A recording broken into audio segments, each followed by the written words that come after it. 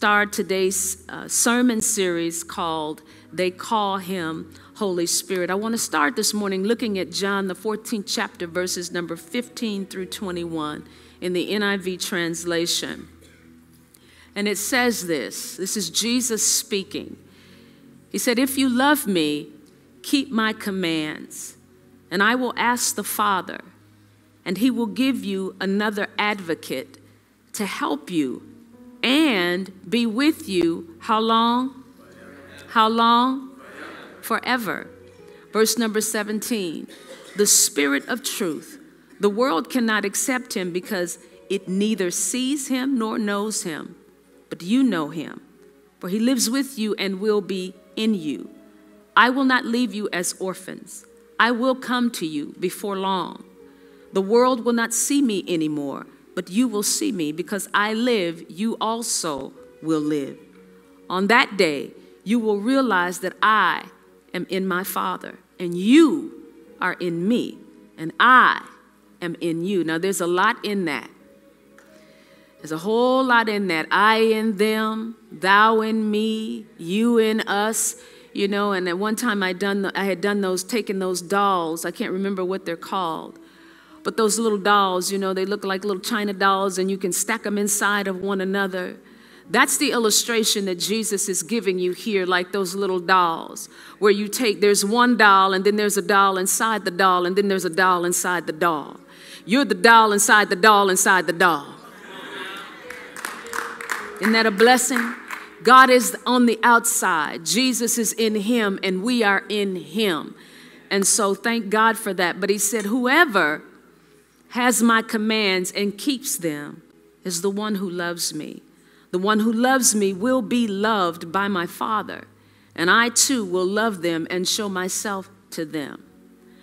You know, more than 30 years ago, I entered into a relationship with someone who wasn't good for me. At that time, I was uh, formally seeing Pastor Skip, and because of the relationship, with the other individual, I made the decision to break things off with Pastor Skip. He wasn't Pastor Skip, he was just Skip then. One day, after I made this decision, a voice spoke to me and lovingly helped me see the heart of the individual that I had chosen to be with over Skip. And by doing a very simple compare and contrast, he opened my eyes and helped me see that Skip really was the better choice for me. And I'll never forget his words. He said, Now, this, is, this was the voice talking to me. Now, this individual is pressuring you to compromise your relationship with the Word of God. He wants you to have physical relationships with Him outside of marriage. Did you notice Skip never pressured you that way? He went on to ask me, Did you notice that you're able to go and come as you please with Skip, but with this man, you can't even go to the grocery store without first asking him. Did you notice that he can quote Bible scriptures and knows all of the Christian jargon, but his life doesn't match his words? But did you also notice that Skip isn't as versed in the scriptures, but his life models that of Jesus Christ? Now, although this was an emotional decision for me to make, had this voice, this person not said these things to me, I would have made the worst mistake of my life and married the wrong person. Thank God for the Holy Ghost.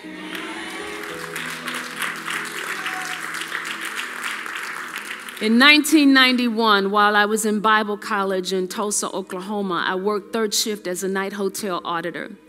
And one night I was headed to work driving down what's called 61st Street. And 61st Street is a dark two lane road that led out of Tulsa into this small little suburb known as Broken Arrow, which is where my job was. On this particular night, it was hot and it was muggy, and my windows were down. And as my windows were down, I was driving, and you could hear the crickets chirping, and you could hear the wind blowing through the car. But suddenly, while I was driving the car, I heard a very stern, subtle voice say, Stop the car. Now, I was the only one, the only physical being in the car, but I heard the voice very loud, very strong, and very clear Stop the car. I immediately slammed the brakes, and the moment that I did, a train came zooming by my car. And I remember sitting at those train tracks holding the wheel with tears rolling down my eyes as my car was vibrating from that train and me being so close to the train. Now, for almost two years, I had been driving down this road and had had to stop by, you know, this area for the train tracks on a few occasions. But this time, there was no pre train warning signs, no flashing lights from the train tracks. You couldn't even hear the sound of the train. All I heard in the car was stop the car. Thank God for the Holy Ghost. Now, these are just a few subtle examples of how the person known as the Holy Spirit has worked in my life. And time won't allow me to share with you all all the times that He's assisted me with my children, in my marriage, in my relationships, and in this church. He's always been present and has proven Himself to be a faithful confidant, a faithful friend, and a faithful support in my life. My grandmother called him her first mind. The world calls him the conscience or their intuition. But who is this person we call the Holy Spirit? And is he really real? And what purpose does he serve in our everyday life? For the next couple of weeks, I'm going to do my best to introduce to some and recall to memory to others the truth about the one who works in perfect harmony with God the Father and his Son Jesus Christ, the person known as the Holy Spirit. Now, Father, I thank you for the truth of the Word of God. I thank you that as we come to you and as we're coming to the Word to learn, that your Spirit is working with us. It's your desire that we grow. Jesus said that you wanted us to know you. And it's our desire to know you, but we know that we can only know you through one person, and that's the person of the Holy Spirit. The Bible says that He knows your heart, He knows your character, he knows your personality. And so, Father, it's through Him that we will come to know you. We understand that we came into relationship with you through your Son, Jesus Christ, but that was even a working of the Holy Spirit. And so today we thank you that you have positioned us. And Father, as I've been listening, as I've been listening, I know that this message is not just a message that you're giving to me.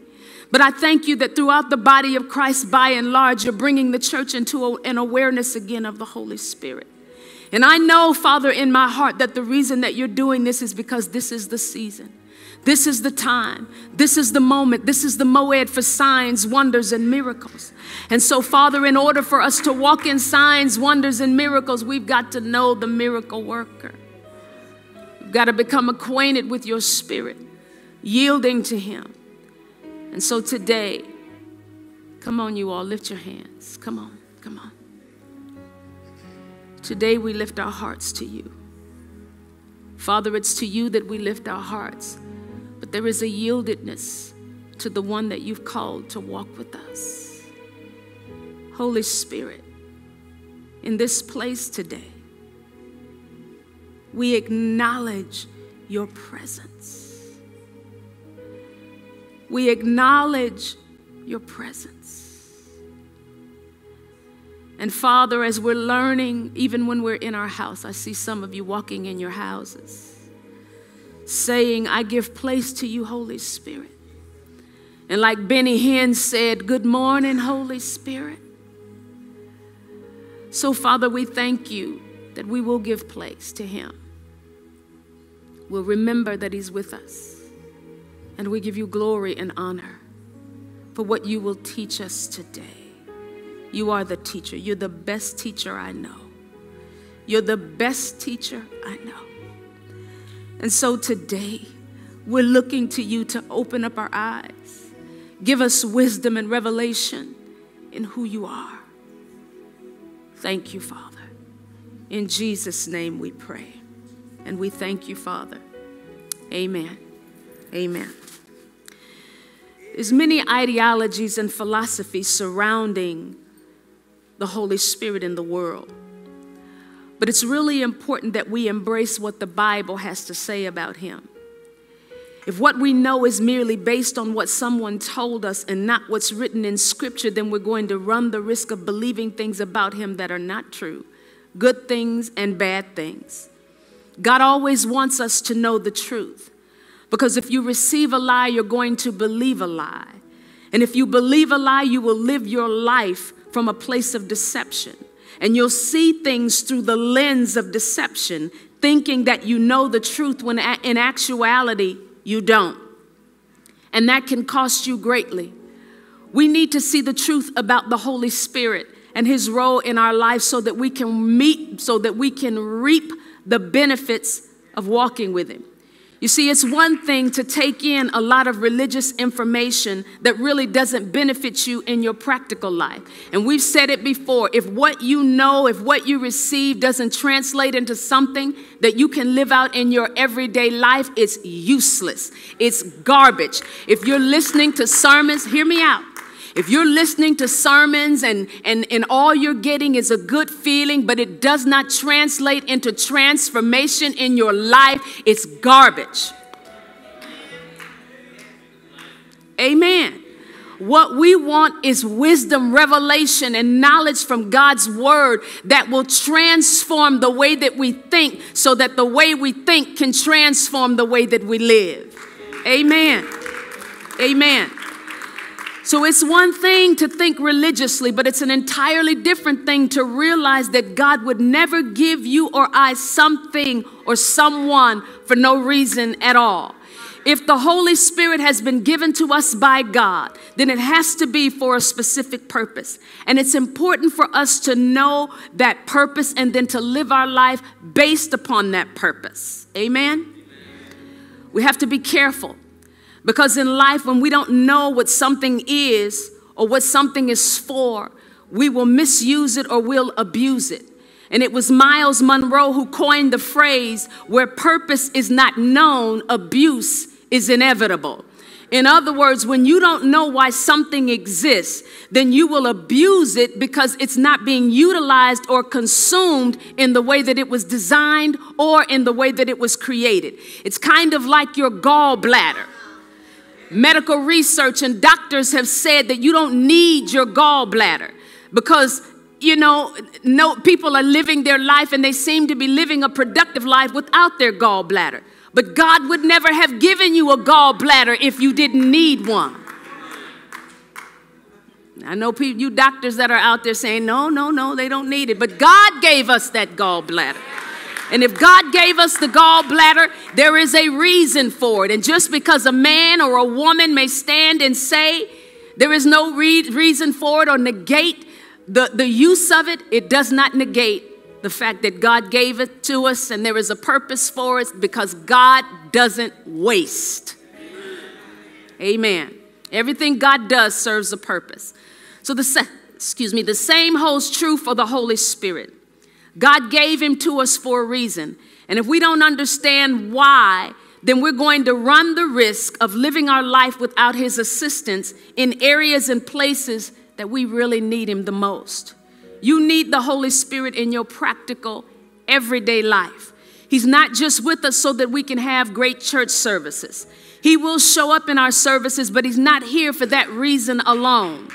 His primary purpose for being in the earth today is to help you know who God is so that you can live the kind of life that God has designed for you to live. Isn't that a blessing? Now, I'm going to take my time and go through this. I'm not going to yell, I'm not going to scream. Because I feel like it's important when we're getting to know one another. If I were getting, when I was getting to know Pastor Skip, you know, and he would take me out to eat, I wasn't screaming at him. He wasn't screaming at me trying to get to know him. What we were doing was breaking things down, talking sweetly to one another, talking slowly to one another, hanging on every word because we wanted to understand how the other person thought. We wanted to understand how the other person worked.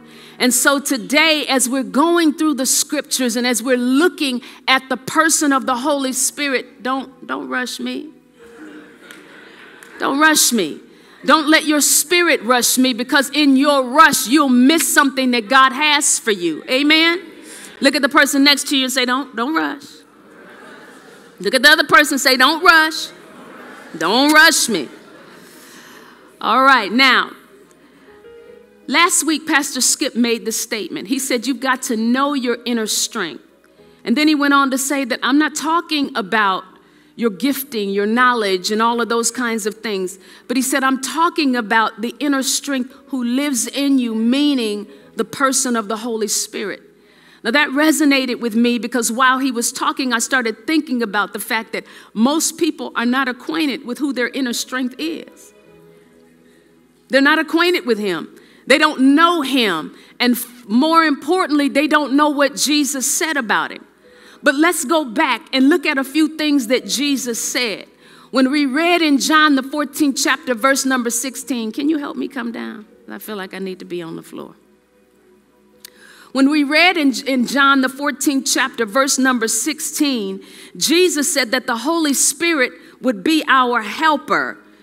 Now, that's an important word, and we can look at that word helper, but it's important to look the word helper up because the word helper is the Greek word paraclete or parakletos. And here is what that means it means, so Jesus is saying that the Holy Spirit is your comforter, the Holy Spirit is your advocate. I mean, have you ever had to use a lawyer before? He was your advocate.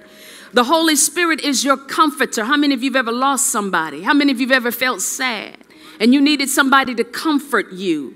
He's your comforter, your advocate, your intercessor. How many of you have ever been in a place where you wanted to go and have somebody speak for you? Again, an attorney. He is your counselor. How many of you have ever needed counsel? And then he says, He's your strengthener and your standby. All of that is in who the person of the Holy Spirit is. And then another thing that Jesus said about the Holy Spirit is that he would live with us forever.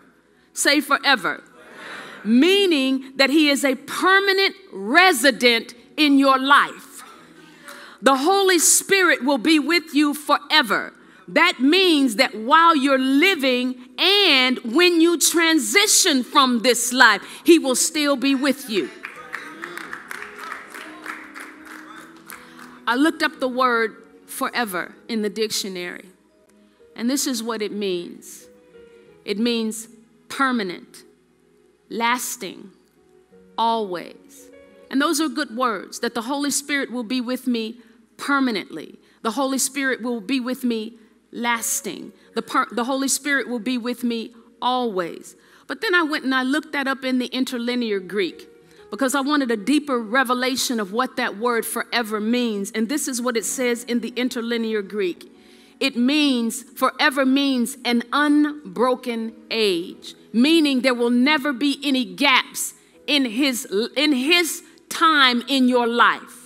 So you will never leave. Listen to me. So you will never live your life. There will never be a season in your life when the Holy Spirit will not be with you.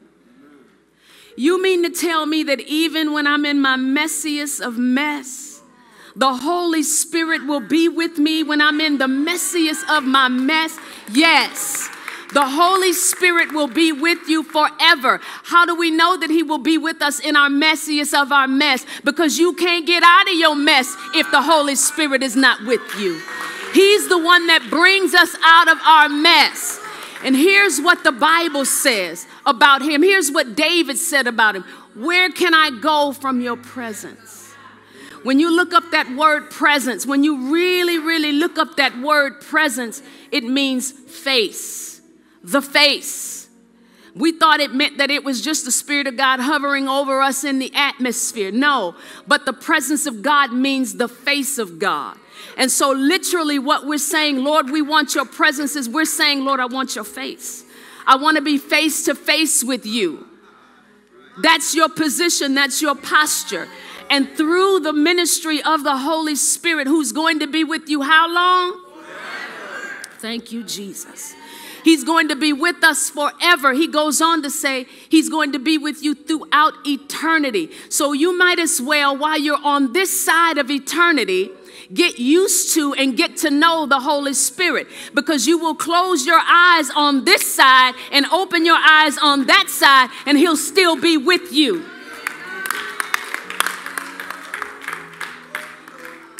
Then it goes on to say that he'll be with you throughout the worlds plural, throughout the universe. The Bible says that the day is coming when there's going to be a new heaven and a new earth.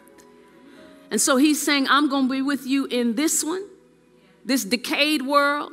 And then when you make your transition to the next world, I'm going to be with you there. And then when God pulls you out of the next world, which is heaven, into the new world, He said He's going to make a new heaven. When you get to the new heaven, I'm going to be there with you. Everywhere you go for the rest of your life, for the rest of your existence, not just your natural life. For the rest of your existence, the Holy Spirit is going to be with you. Doesn't it make sense? Now, here's the thing I've had four kids, and I've got four grandkids. I've got a husband. Do you know that I know that Skip is not going to always be with me? The day is going to come when he's not going to be with me. I was raised by my grandmother, and the day came on December 15, 2015, that my grandmother left me. Huh? She left me. But do you know the Holy Spirit is never going to leave me. He's going to be with me forever and for always. So, this is important to know because no matter where I go, no matter what I go through, even in my darkest of darkest of times, when I feel like I'm all by myself, when nobody cares about me, when nobody's checking on me, there is somebody with me in his name, and we call him the Holy Spirit. It's understandable why Jesus said, or why the Word of God says over and over again in Hebrews, the sixth chapter, where God said it three times I will not, I will not, I will not leave you. I will not, I will not, I will not forsake you. This is the Amplified version. I will not, I will not, I will not abandon you. How many of you have ever felt abandoned? How many of you have ever felt alone? Even though you felt that way, I want you to know you weren't alone. You're trying to figure out how did I get out of that mess? The Holy Spirit got you out of that mess. How did things turn out so well for me in spite of all that I've been through? The Holy Spirit was working with you. Amen.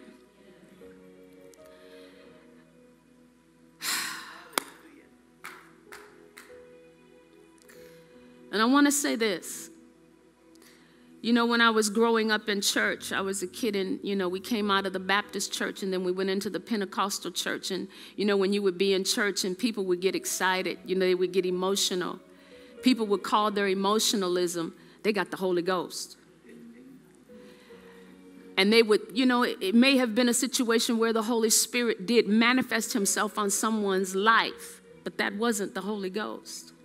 That was their emotional response to the Holy Ghost. And so we have to understand that the Holy Spirit is not an emotion. He's not an emotion. He's the third person of the Godhead, or what the Christ, or what we Christians call the Trinity. Trinity's not in the Bible, but he's the third person of the Godhead, Father, Son, and Holy Spirit. And one other thing, he's not an it. He's not an inanimate object. And when people talk about the Holy Spirit, you know, we had somebody on our board one time, you know, they would say, My Holy Spirit tells me, you know, and they would talk about him, talk about him in an inanimate way. But your Holy Spirit is my Holy Spirit. Your Holy Spirit is Jesus' Holy Spirit. And he's not an it, he's a person. And he's a person to be worked with, listened to, talked to. Y'all hear what I'm saying? I used this illustration with the first service. And I was telling the first service, you know, if I were to pull Aji in, you know, anytime you start talking about somebody, you want to talk about that person accurately. And if you know somebody's having something to say, there's an opportunity for that person to misrepresent who I am. And because I want to make sure that you say the right thing about me, that you're speaking truth about me, and that you're telling people, you're giving, you're projecting who I am to people in a truthful way, I'm going to make sure that when you're telling people about me, I'm going to show up. I'm going to come in the room. I'm not going to leave you to talk about me. to you. I'm going to come in the room so I can tell you what to say about me. And so, as we're talking about the Spirit of God, you can have an expectation that He is going to manifest Himself. Y'all hear what I'm saying? And so, if you're in this room this morning and you have on a religious hat, you need to take it off. You need to take it off. Because what we're doing is we're moving into a space where the Holy Spirit can be Himself, where He can speak to us and manifest Himself however He desires. How many of you can already sense Him? Can you sense Him right now? He's already in this room. He came in the room when you walked in the room. But here's the thing, you know, it's, it's sometimes when people can walk in a room and you know that they're in, oh yeah, Melva's in the room, but then there's times when Melva can show up in the room, right? When all eyes will turn around and pay attention to what Melva's got on and how Melva's strolling into the room. That's how it will be with the Spirit of God. You're going to have a greater consciousness of His presence, not just in this building, but in your house, in your car, how many of you going to believe for that? So let's learn about who he is. It's, it's, it's so important for us to learn who he is because in learning who he is, then we get to benefit from who he is. And everything that Jesus and the Father said about him becomes ours. You can walk in the reality of it. The reason that you're not walking like you should walk is because you don't know him. You don't know him the way that you should. A lot of us have a lot of religious ideas and a lot of religious ways, and we do things the way that we do them because we've learned, we've become professional Christians. But I want you to know that there is a place there is a place that you can walk with God where you're so sensitive to the Spirit of God. And like me driving down the road and the Spirit of God saying, Stop the car, because I was in relationship with Him, He knew that He could tell me to stop the car. And I put my brake foot on the brakes and my car stops. But what if I had not listened to him? What if I had not cultivated? See, that didn't come in that moment when I was on my way to work. That was a lifestyle of cultivating time with the Spirit of God. Listen, listen, listen to me. Listen to me. Listen to me. It was a lifestyle of cultivating every day, going to the Word of God, looking at the Word of God, allowing, because the Bible says that the Word and the Spirit agree, they're the same voice. And so when I'm looking at the Word of God and I'm listening to what the Word of God says, the Spirit of God is speaking to me through the Word of God. So I became accustomed to hearing His voice. Do y'all hear me? I became accustomed to hearing His voice. And as a result of me becoming accustomed to hearing His voice, when He said, Stop your car, I stopped my car.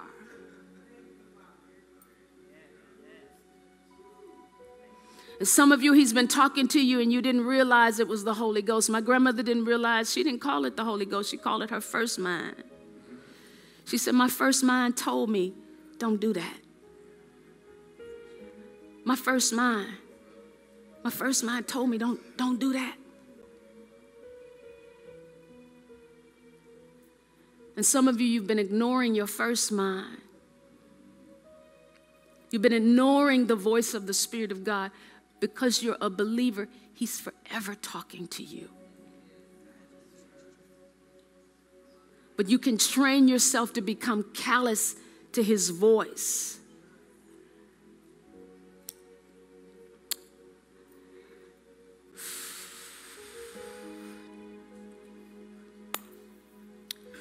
I thought about this. I get amazed when people call the Holy Spirit an it. But you never hear them address the devil like that. Every, it's clear, it's clear to everybody that Satan is personified. I've never heard anybody say, the devil, it made me do that. Never, never, never. It's always he. The devil is busy. The devil spoke to me. The devil said this. The devil had me thinking. The devil, all. But then when it comes to the Spirit of God, then we want to make him inanimate. That is a trick of the enemy. The enemy did that. The devil did that. Listen to me, listen to me.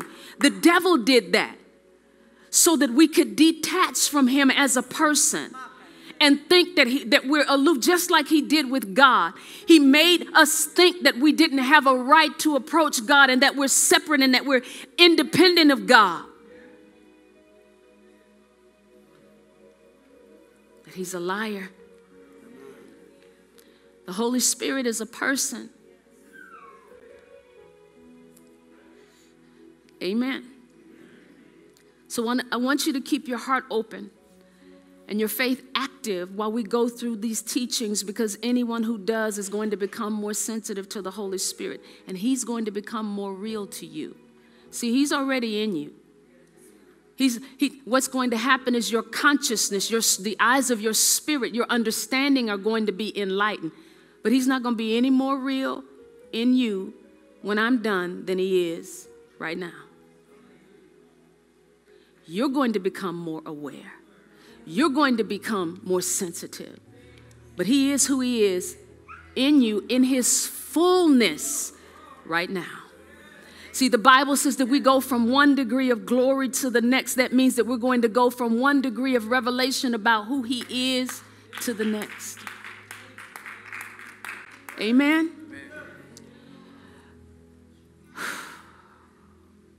Are y'all with me?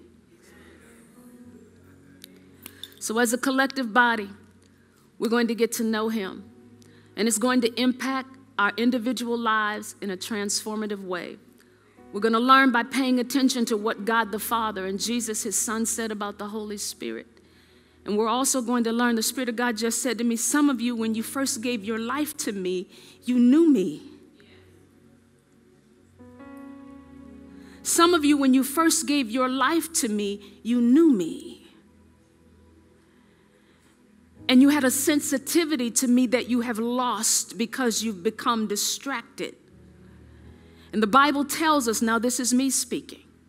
The Bible tells us that it's the lust of the flesh, the lust of the eyes, and the pride of life.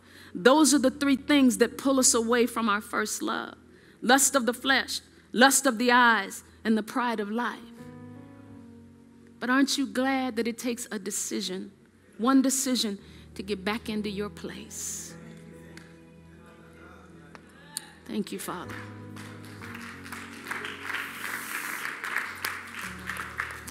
And so this is this is this is this is the groove right here, right here, right here. I'm not moving from this spot. I'm not trying to be dynamic. I'm not trying to be any of that. I'm trying to help you all to see. trying to, trying to get you to see and I'm fighting tears.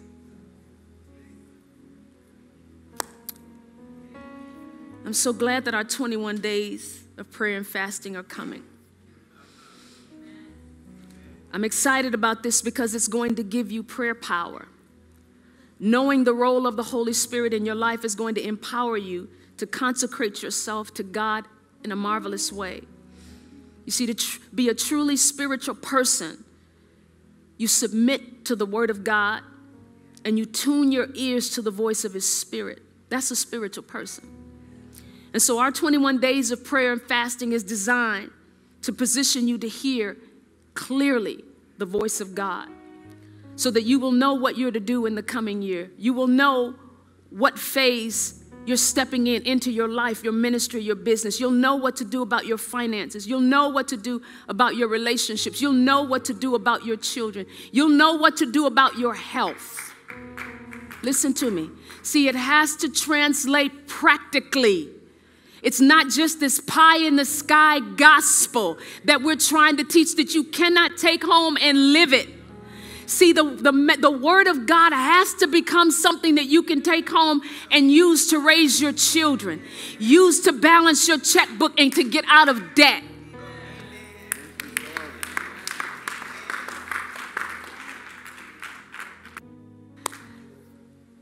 I'm going to say this. The Lord said to me, You tell the people, don't make any major decisions until this consecration is over.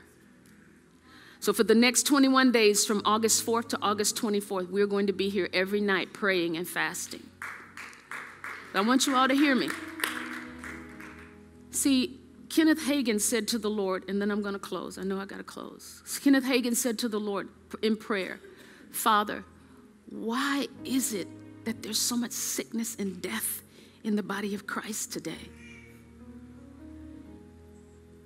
He said in the 50s and the 60s, we didn't see so much sickness and death in the body. And Brother Hagin said, The Lord said to him, Yea, yes, but the consecration of my people was greater. It was greater.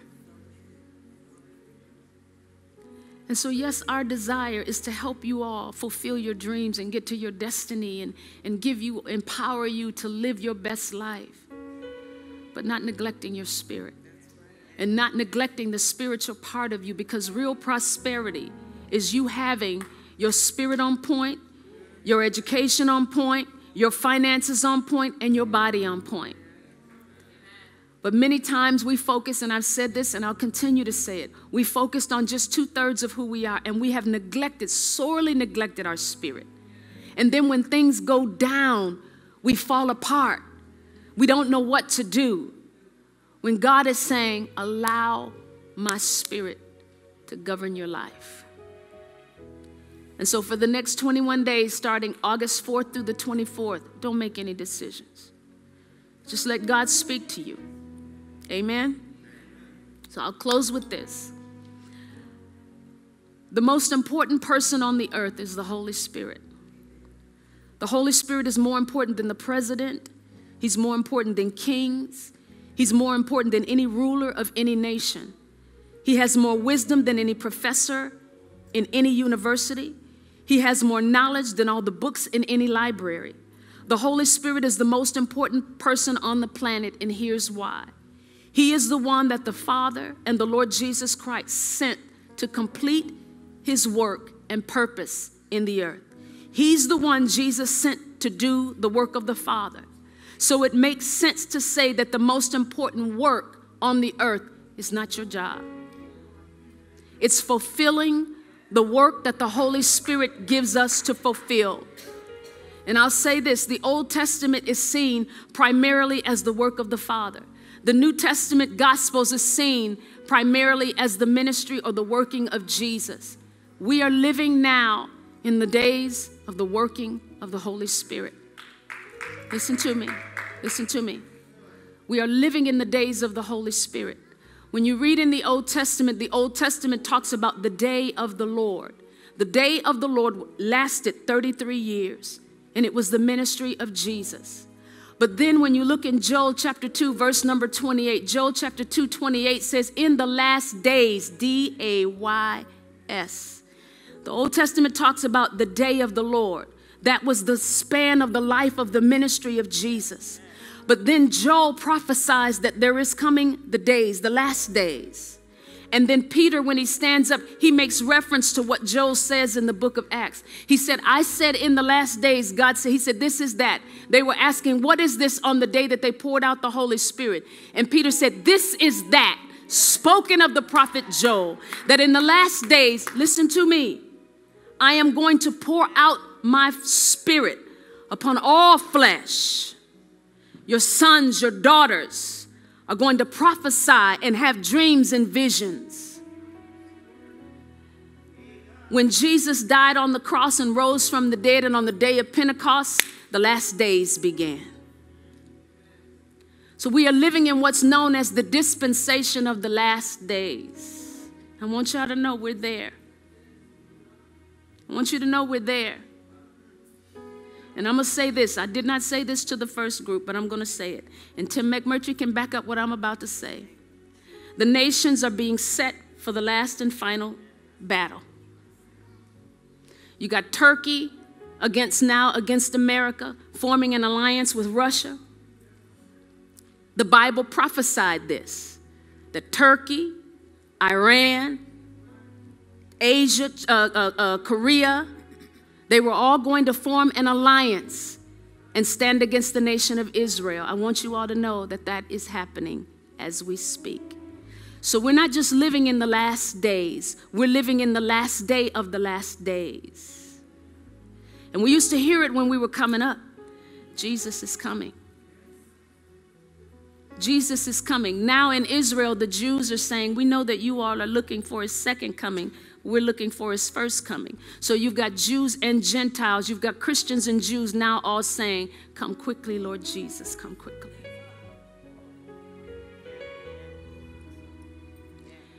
You're living in the dispensation of the Holy Spirit. And just like Jesus walked the earth and 20,000 people would be in his meeting, they would all try to get to him, all try to get to him. He was walking and living the earth and pouring his life out. Now we are living in the dispensation of the Holy Spirit. And all the blessings, all the be-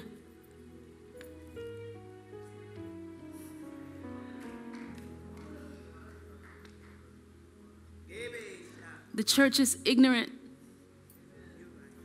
The church is ignorant. He said, These signs are gonna, signs are going to follow those that believe in my name. They're going to cast out devils, they're to speak with new tongues, they're going to lay hands on the sick, and they're going to recover. We're not functioning as we should be because we don't know Him.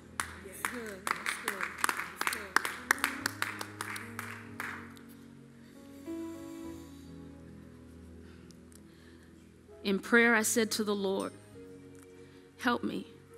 Help me to say this without emotion. Help me to say this without extra. But then I said to the Holy Spirit, You're the teacher. And you're going to have to teach us again.